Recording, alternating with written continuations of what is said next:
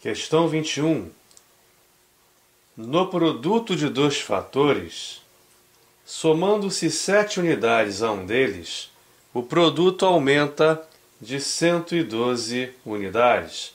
Calcule o valor do fator que não foi alterado. Vamos inicialmente lembrar o que, significa isso: produto, fator, enfim.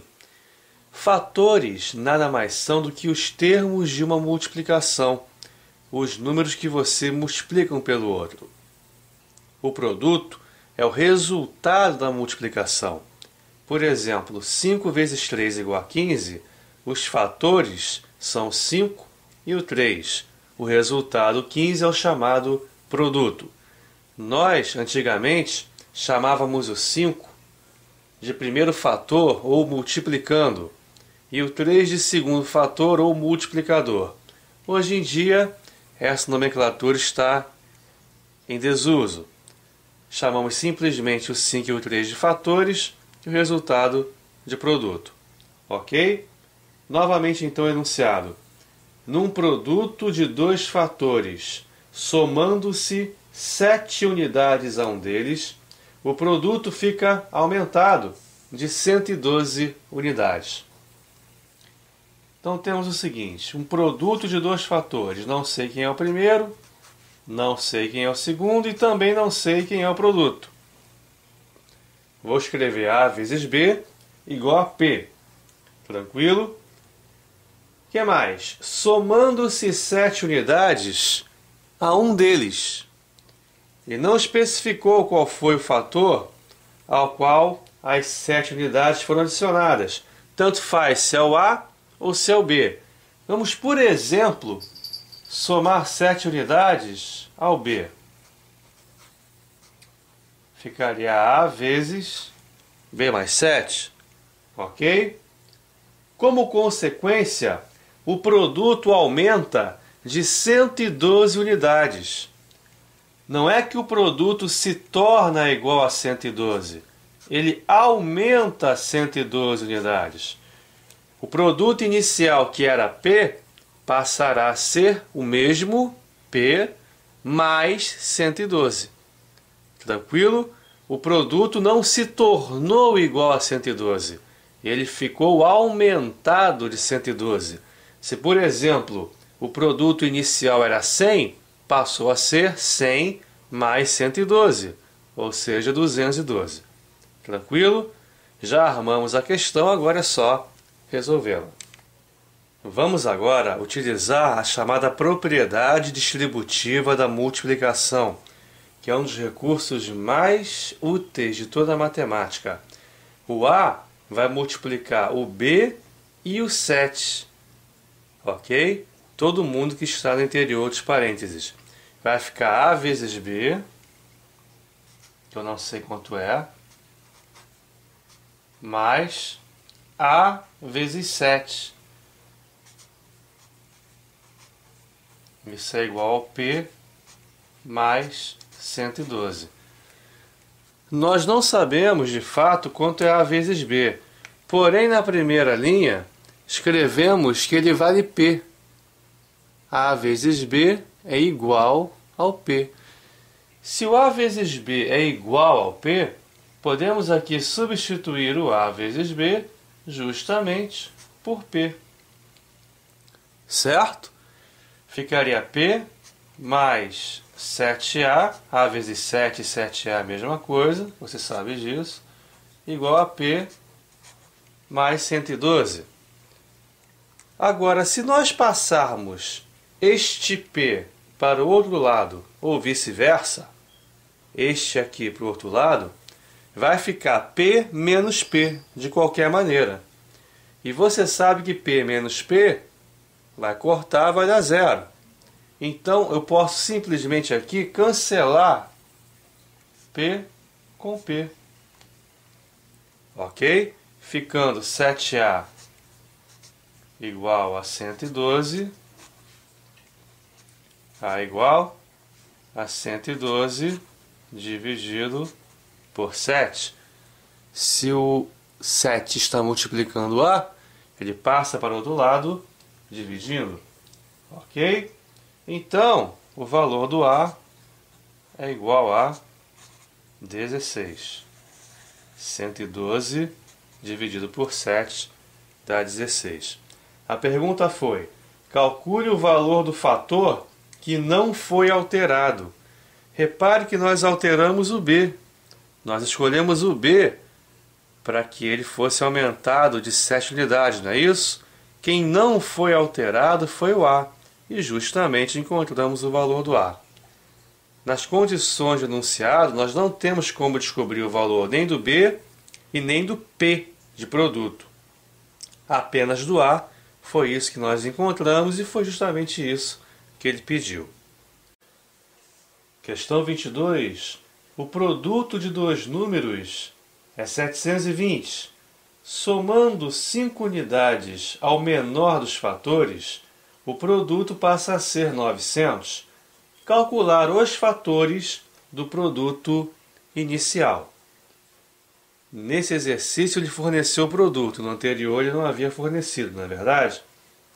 Novamente, o produto de dois números é 720. Produto é o resultado de uma multiplicação, portanto, estamos autorizados a escrever que A vezes B é igual a 720. que mais? Somando 5 unidades ao menor dos fatores. Quem é o menor dos fatores, o A ou o B? No primeiro momento eu não sei. Tanto faz para nós. Vamos, por exemplo, somar 5 unidades ao segundo fator, ao B. Ok? Consequentemente, o produto deixa de ser 720 e passa a ser 900. Calcular os fatores do produto inicial. Pronto, agora é só proceder como na questão anterior, que conseguiremos encontrar tanto A quanto o B. Aplicando a chamada propriedade distributiva, vai ficar A vezes B mais A vezes 5. Isso é igual a 900. Tranquilo? O mais importante é agora. Na questão anterior, nós havíamos trocado A vezes B pelo P de produto, não é isso? Então aqui vamos fazer a mesma coisa. Vamos trocar o A vezes B pelo seu valor já que sabemos que ele vale 720. Ok? 720 mais A vezes 5, que é a mesma coisa que 5A, é igual a 900. Agora é só resolver a equação do primeiro grau. 720 vai para o outro lado diminuindo, vai ficar 5A igual a 900 menos 720, ou seja, 180, não é isso? Continuando aqui à direita, vai ficar 5A igual a 180. O 5 está multiplicando, vai para o outro lado dividindo. A vai ser igual a 180 dividido por 5, que vai dar 36 certo? Então, descobrimos o primeiro fator. O enunciado pediu os fatores do produto inicial, ele pede também o B. Sabemos que A vezes B, aqui no começo, né, é igual a 720. Então podemos escrever que 36 vezes B é igual a 720. O 36 está multiplicando, vai para o outro lado dividindo. Então o B vai ser igual a 720 dividido por 36, que vai dar 20. Portanto, os fatores são 36 e o 20. De fato, se você pegar o 20 e adicionar 5 unidades, ele vai se tornar igual a 25. E 36, que é o A, vezes 25, realmente dá 900. A questão 23 é muito tradicional em aritmética e diz o seguinte: em vez de multiplicar um número por 82, uma pessoa por engano multiplicou por 28, tendo assim obtido um produto inferior em 11.016 unidades em relação ao verdadeiro produto. Calcule o número que foi multiplicado por 28. Novamente, em vez de multiplicar um número por 82, nós não sabemos quem é o número. Vou chamar de x. Se você pegar este número x e multiplicá-lo por 82, teremos 82 vezes x. 82x, não é isso? Maravilha. Porém, uma pessoa, por engano, multiplicou o x, o número, por 28. Então, o que ela encontrou foi o número multiplicado por 28, que dá 28x. Tendo assim obtido um produto inferior, menor, em 11.016 unidades em relação ao verdadeiro produto. Ou seja, quando a pessoa, em vez de multiplicar o número por 82, multiplicou-o apenas por 28, houve uma diferença entre os dois resultados, é óbvio. Quando você deixa de multiplicar alguém por 82 para multiplicá-lo por 28, haverá uma discrepância, uma diferença em relação aos produtos, não é verdade? Então o enunciado disse exatamente isso, que foi obtido um produto inferior, menor, em 11.016 unidades.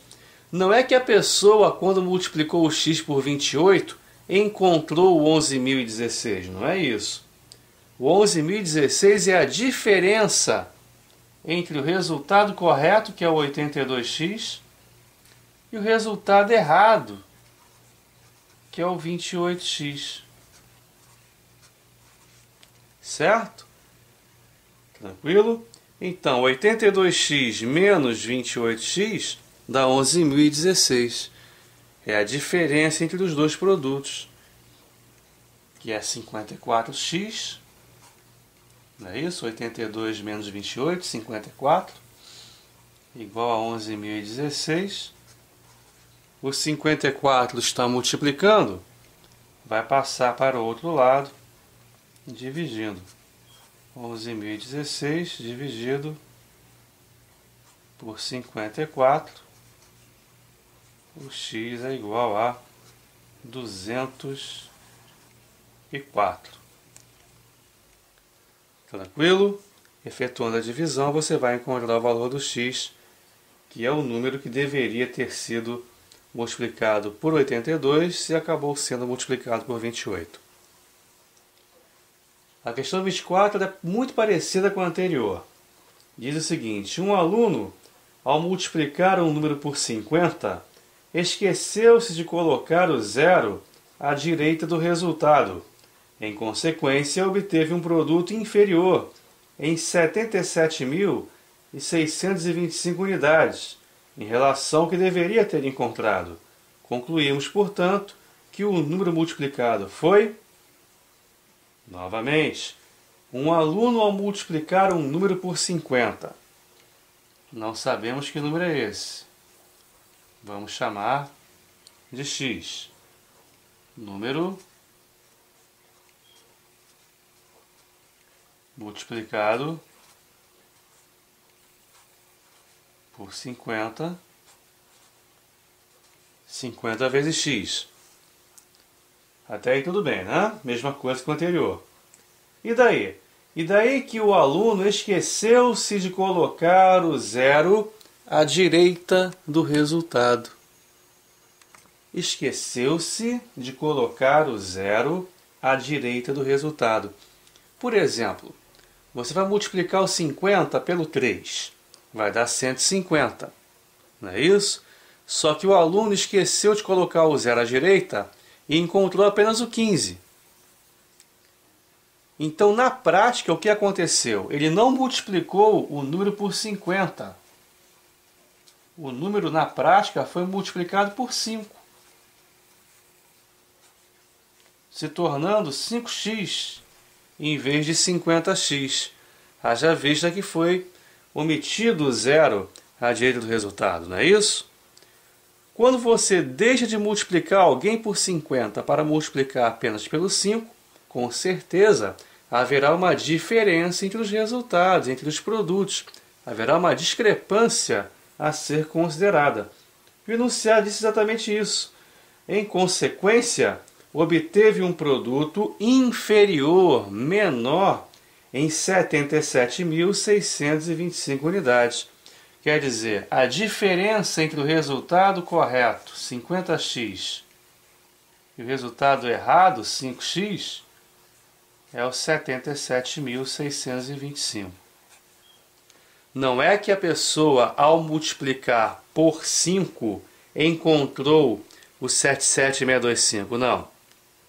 O 77625 é a diferença entre o resultado correto, 50x, e o resultado errado, o 5x.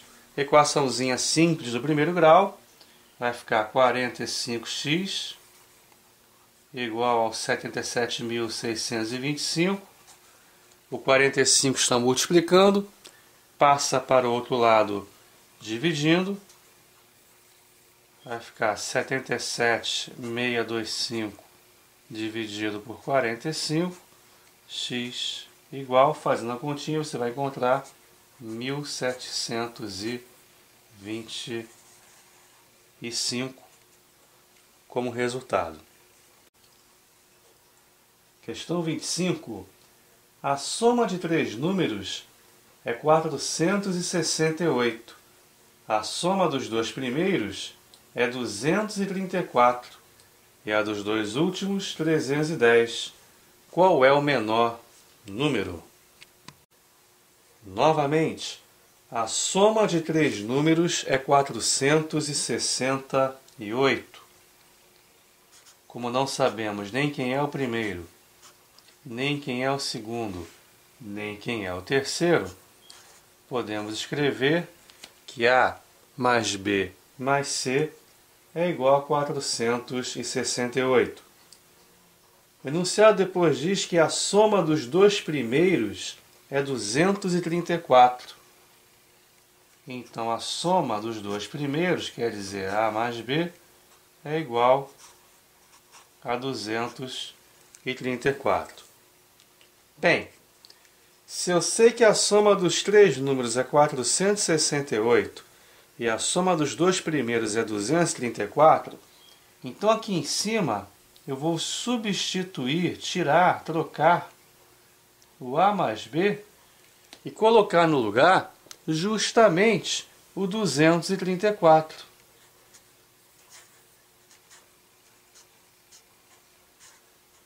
Com isso, eu vou ter condições de encontrar o valor do C, porque vai ficar 234 no lugar do A mais B, mais o C igual a 468. O 234 está somando, passa para o outro lado, fazendo operação inversa, quer dizer, diminuindo. Então C vai ficar 468 menos 234, que é o próprio 234. Ok? O que mais que o enunciado falou? O enunciado também disse que a soma dos dois últimos é 310. Ou seja, os dois últimos B mais C igual a 310. Como no momento eu sei que o valor do C é 234, podemos escrever que B mais o C, que é o 234, é igual ao 310. O 234 está somando, vai passar para o outro lado diminuindo. Vai ficar B igual a 310 menos 234. B igual a 76. Com o valor de B igual a 76, podemos descobrir o valor do A. Sabemos que o A mais o B é igual a 234. Não é isso? Então podemos escrever que o A mais o 76 é igual ao 234.